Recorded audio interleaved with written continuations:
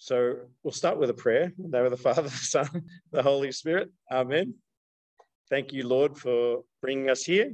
Thank you for the chance to share and to listen to your word and to pray. And we pray that we can do that in a very special way tonight, especially deepening on passion, what it means to be in Holy Week, and to let God speak to us in a special way. We can ask Mother Mary's help to do that. Hail Mary, full of grace, the Lord is with thee. Blessed art thou amongst women, and blessed is the fruit of thy womb, Jesus.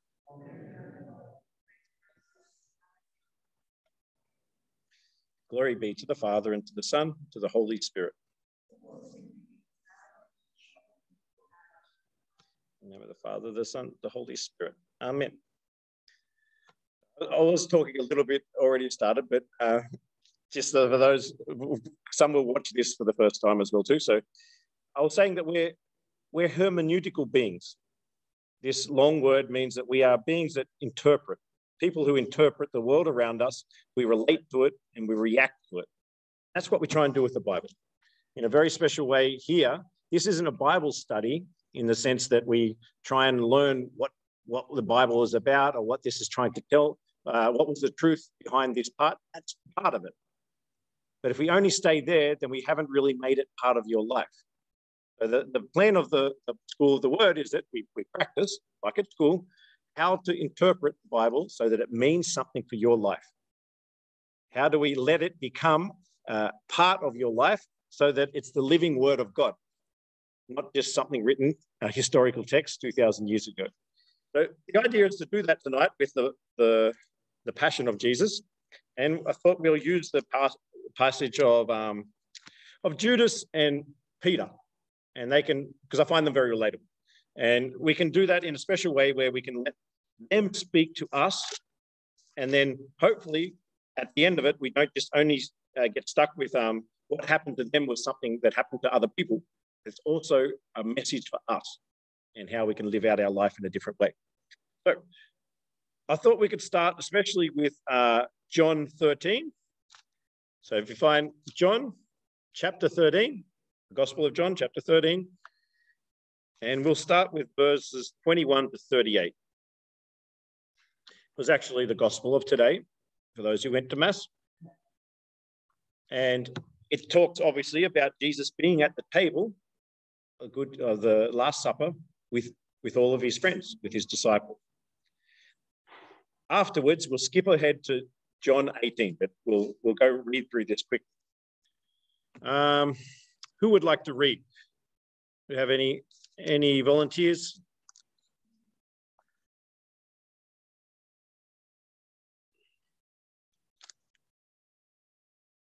Yeah, very good.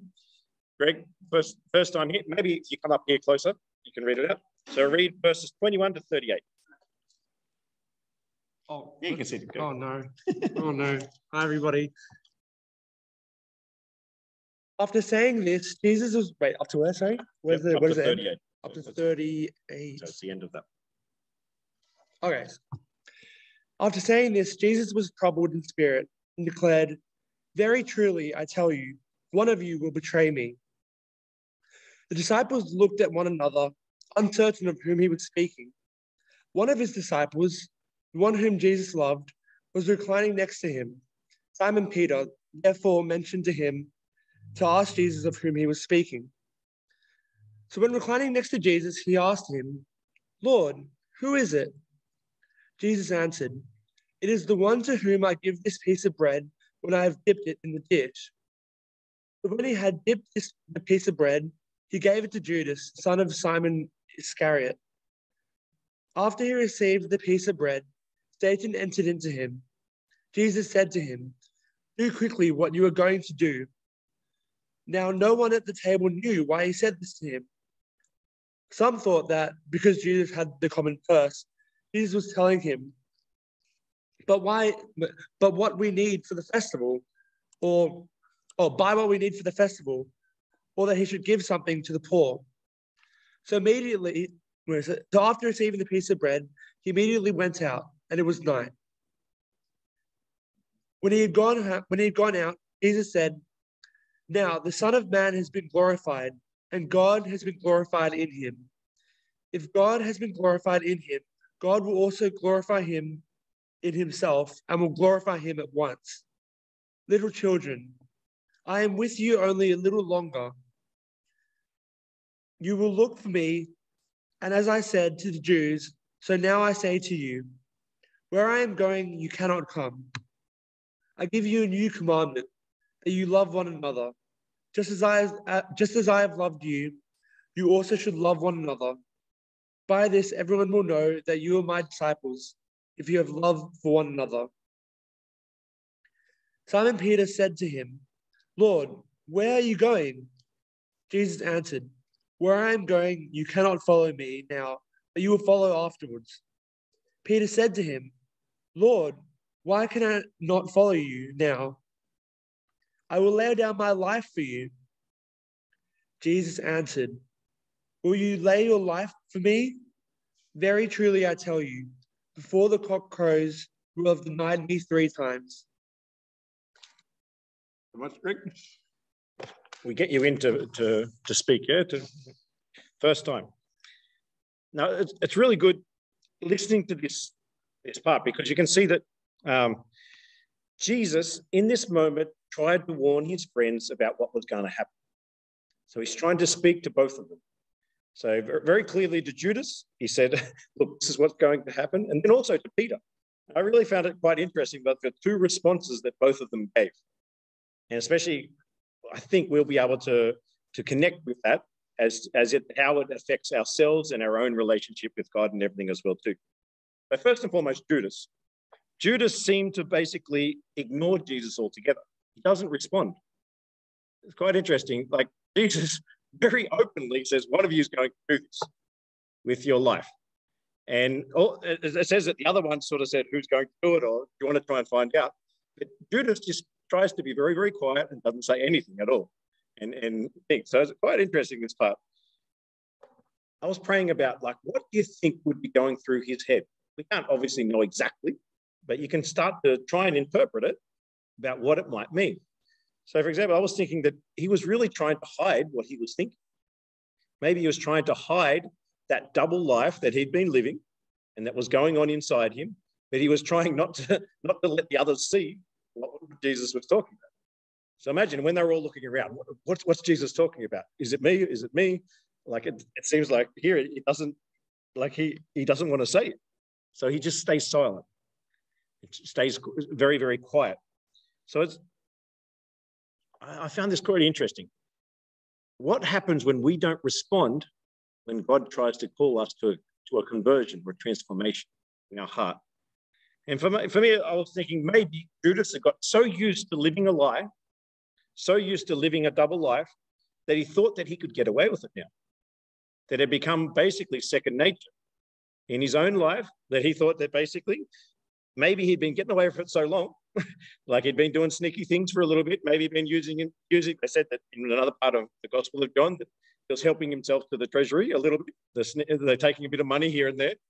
So so maybe he'd been doing this for so long that he thought that basically, as long as I just put on the face, no one else will be able to see any different, including Jesus. So it was like he thought that in this one, maybe he was even thinking, I can even fool God. I can I can get away with it if I can get away with it. It's quite interesting. Can you relate to that? Can you relate to that with your own life? I know I can. And I try not, not to, obviously, but so many times I've got used to saying, for example, I try not to do that this much, but if you think of your own life, how many times have you smiled and said something very nice to someone, but inside you were sitting there going, I don't like this person at all? I wish I could say something else. I'm actually criticizing them in my mind, but in, there in front of them. I'm smiling. Ah, very nice, this person, very good. Living a double life. And you think you could probably get away with it as well, too. Like this person will never know what I'm really feeling inside. And sometimes, even like we can do it even with God. I don't know if you've had that experience of being here in the chapel or wherever you want to pray in that moment, looking very holy. From the outside, looks like you are praying, but really, where's your mind? Not here many times in another place completely or doing something else completely. Even these days, with the I actually write a lot of my stuff on my on my tablet. How easy it is on the tablet to switch across to, to read something else or to do something else. Everyone else thinking, oh wow, he's very holy here in the church. But how holy is he really? What's happening inside? I was thinking about that. Obviously, it gets much, much worse when it's something very serious, obviously. So with Judas, we're talking about something very serious. He was betraying his God, betraying his best friend, was going to hand him over. I don't know whether he really thought that he was going to die. He was handing him over for money and, was ready to do that. So many times, I think when it comes to something more serious about sin, more serious about our addictions or our, our temptations, being lazy, cheating, cheating other people with our businesses and stuff like that, it can get very, very common that we get so used to living in a certain way, we basically justify it. And we start to get to this point where, as long as I don't, don't bring it to light, we just let it go. And it, it, it can be the trap that we can fall into. And we can find ourselves, like Judas, getting to this point where, yeah, you don't really care anymore. And I was, I was so many times, I don't say about what other people say to us in confessions or anything like that, but I'm just talking about when people talk to you. If you talk to people these days, so much double life going on. And especially, I, I uh, Greg here is one of our student leaders in our Spark group, in our youth groups. Like when you talk to the young ones, like what they're watching, what they're like, there's a lot of weird stuff happening, and like they, they're getting away with without realizing, well, thinking that it's not making an effect. On the outside, trying to put up one facade, on the inside, something completely different.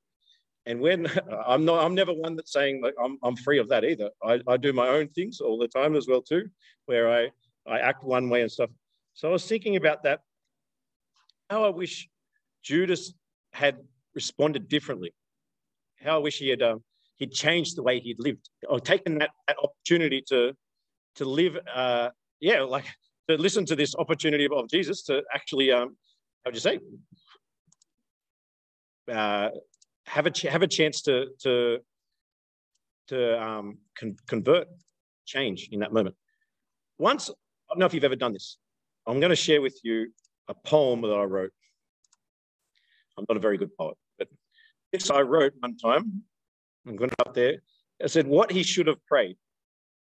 There was, was my idea about what thinking about Judas in this moment. I wrote this a while ago. He should have prayed when he heard Jesus saying that, Oh, please don't get, let me be the one. Oh, please give me the strength so it passes by. Oh, not to be the one who betrays the Son, not the one causing the innocent to die. Oh, please don't let me be overcome. Please don't allow me that to be my fate. I was trying to make this rhyme. It doesn't rhyme very well. Oh, spare me the fire and sulfur of Sodom. Oh, spare my heart being engulfed in hate. Oh, please don't let me be the knave. Oh, please allow me to break my chain. Oh, not the one to bite the hand that gave, or not the one that causes so much pain. Oh, let me be to my merciful Father run. Oh, let me be the root of loss. Oh, please don't let me be the one. Oh, please not the one to put him on the cross. I was praying, I was being serious about that at one time. How I wish he had done that. And I believe that would have been why Jesus was bringing it up. He was trying to give Judas the chance to turn, to come back and listen. How it would have been different if he had have done that. Who knows what would have happened? We believe that Jesus had to had to go to the cross as well too. But it's quite interesting. Like your own invitation. What are you going to do when Jesus asks you to change? Are you going to listen or are you going to stay silent like Judas? And we, it's very clear that it doesn't end well for Judas. He keeps on living that double life, but eventually it comes out. Eventually, everyone knows and sees exactly what he was living. And honestly, I've never seen an example of sin that doesn't eventually come out like that, eventually, too. In my own life and then in life of others. You think about, for example, something, I don't know, something very obvious like cheating or, or something like that, sooner or later it comes to light. There's no way you uh, like eventually, and it comes out, and when it comes out, it's disaster as well too. But but many times I think there's been a lot of chances where people can change that earlier if they took that option of listening to Jesus saying in this moment, look, you didn't have to live like that. Okay, what about Peter? We go to Peter. Peter's got a, a little bit of a different response than Judas but it's interesting as well too. It's different. Whereas Judas stayed quiet, didn't try to say anything, and like tried to tried to hopefully I don't know pretend like no one else knew what was going on. Peter, on the other hand, tries to respond to Jesus. And it, but he tries to think, he somehow thinks that Jesus might be mistaken. We know Jesus is Son of God, never wrong. Like Judas should have known, I mean, Peter should have known that by now, seen Jesus over and over again. But still in that moment, no, Jesus, you're wrong. Uh, I'm going to be the one to stay beside you the whole time. Even if I have to go to, to jail, I'll never, I'll lay down my life for you. And Jesus, very quietly, before even the cock crows three times, you're going to, you're going to deny me. It's quite interesting. I was praying, what do you think Peter's main problem was? It wasn't so much the double life. I think he was quite open, actually, Peter. He, he was very, probably even a little bit too, some, too much sometimes. Like he just said whatever he thinks many times and stuff like that. But I was praying, I don't know, my, my interpretation was that he relied too much on himself. His, his idea was that I can do it. Don't worry, Lord. Trust me. I can do it. And almost I can do it by myself. So he's relying on his own strength. So even like I was saying, what, what, what should have Judas prayed? Please, Lord, don't let me do this, whatever. Give me grace to live this in a different way. Peter also needed to pray that same prayer as well, too. But his idea was, no, I'm strong enough. I'm strong enough against, and it says Peter tried, I mean, Jesus tried to warn him. In one of the other versions, it says, uh, Satan's been given permission to try and sift you, to try and tempt you in this part. And, but he still thinks I'm still strong enough to, uh, to overcome it by myself. And it's, it's interesting. Okay, all of us are fallen. All of us are bound towards falling to sin. It's part of our life. We're not perfect. We've got the, the concupiscence that we call it in our life. So, can you relate to Peter with your life? How does that speak to you? How many times have you swore, I'm not going, I'm never going to do that again? How many times have you said, for sure, I'm going to change? Lord, that's never going to happen. And then what's been normally been the result at the end of it. So I was thinking, now I don't drink so much actually as a missionary, but when I was a bit younger, don't get too shocked by this, but when I used to go out with my friends, small country town, most of our, our socializing was done at the pub. I don't know how many times I woke up with a bit of a headache saying, I'm never ever going to drink again. And then the next Friday comes around, and then your mates call you from the pub, and then straight back down there again. But it was sort of, it becomes very much, if you build yourself only on your own, your own strength, you're weak by yourself. Of course, with the grace of God, we're strong. But with by ourselves, we're so so weak in that way. And I was thinking about so many other things that have been happening recently. I, was thinking only my own life, but maybe some of these things could, could jolt some things in yourself as well too. What about your Lenten resolutions? How have they been going lately? All, the, all these plans to pray, to fast, to give alms, like 100% all the way through 40 days of, of, of purity and perfection. How many times have I been unfaithful to prayer? My fasting started off good. I could say that much. Went, went okay at the beginning, but uh, especially, yeah, many things. And then also, how many times have I said, okay, I'm going to pray in the morning? And then you get halfway through the day and you forgot. And even that I'm going to pray the rosary. And then you get to the end of the day and you, you end up saying it in bed because you haven't, well, if you say it at all, yeah? Like, like how many times have we had these, these, these desires to have the strength to do stuff proper intentions, good intentions in that moment. But in the end, uh, I, was talking to someone the other day. Honestly, I don't swear very much anymore now, luckily. But that used to be one of my big things where every time I'm go- never going to swear again. And then someone cuts you off in traffic, and then suddenly you find yourself inventing all these other types of words, everything ways to say it. And it, it just naturally came out many, many times. Like, how many times, yeah, have you had that experience of being Peter? Thinking you're strong enough, thinking you can do it all yourself. So, what can we learn from him?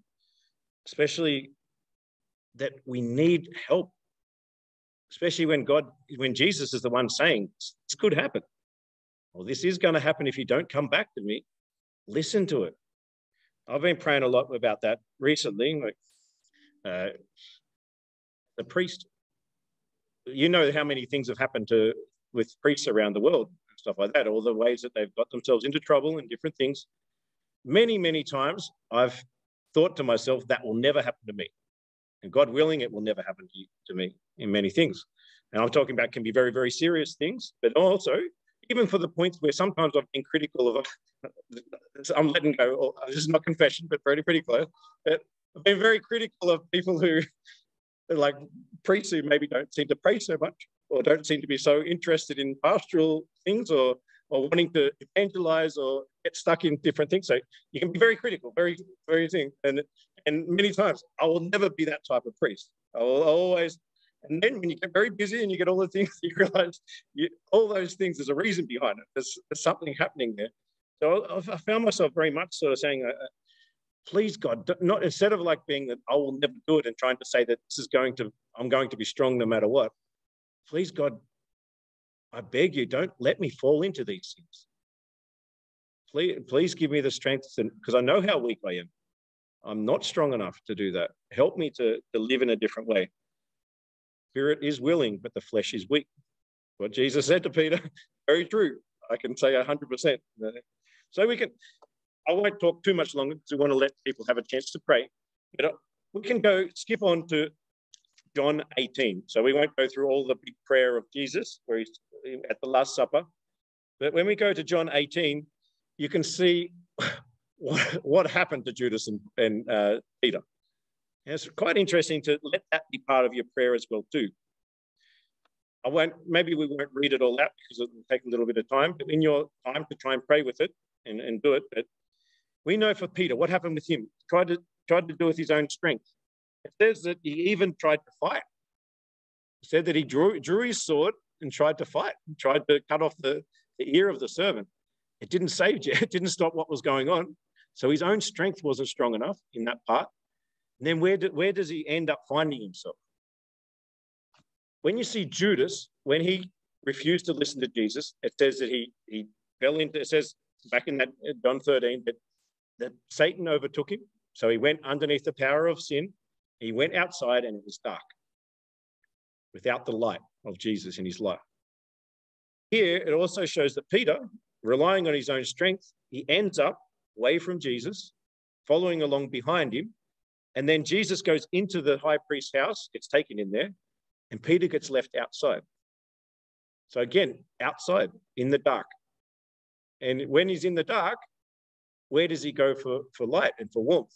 No longer to Jesus, he finds another fire and he warms himself around the other fire, eh, but it's not strong enough. It's not enough for him to stay strong. And then you hear that's when he gets the, the people saying, Aren't you one of them? And then he says, No, no, no, of course not, not me. And then little by little gets further and further away from Jesus until eventually everything that he said that he wouldn't do, no way I'll ever do this, I'll die before all this ever happens. He does it within one night or even less. So not, not even one week later, it's within a couple of hours of, of saying, I will never ever do this. And then he fell down and, and he did. It's quite interesting uh, the process that, that it follows. Pray with it. Try and interpret it, relate it to your life, see what it means for you, try and learn from it. It's the living word of God. There's meant to be something in there for you, speaking for you in that moment. And especially the same with Judas. I found Judas really that really sad actually that that double life of Judas comes out very very clearly. He kisses Jesus. That's how he betrays him. With a kiss. So a sign of friendship, sign of love is how he betrays him and, and destroys him. And it comes out in front of everyone. And Jesus makes it very clear in that moment. Are you betraying me with a kiss? And then that was the turning point where he realized, I think from that point, he must have realized that everyone knows what I'm doing here from now on. And he went into despair after that. I thought one last thing, just to pray a little bit about that.